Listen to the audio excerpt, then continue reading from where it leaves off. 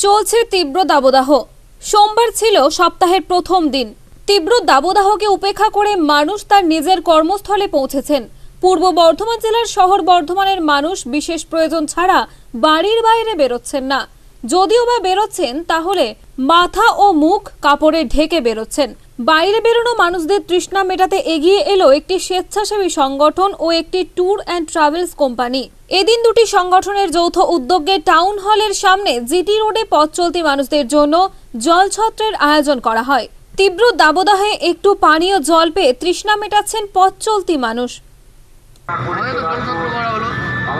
কত লোককে কত লোককে আপনারা এই জল সত্র কটা- কটা থেকে লোক খাওয়াচ্ছেন? সকাল দশটা থেকে শুরু হয়ে গেছে। এ হঠাৎ- আমি আরও আরও করব।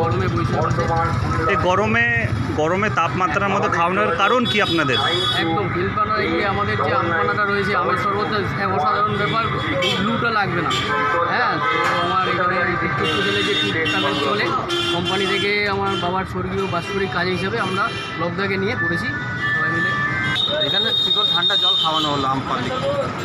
কতজন আগে জল সত্র শরবত খাইয়েছেন? এখন অবধি প্রায় হাজার জন হতে চলেছে।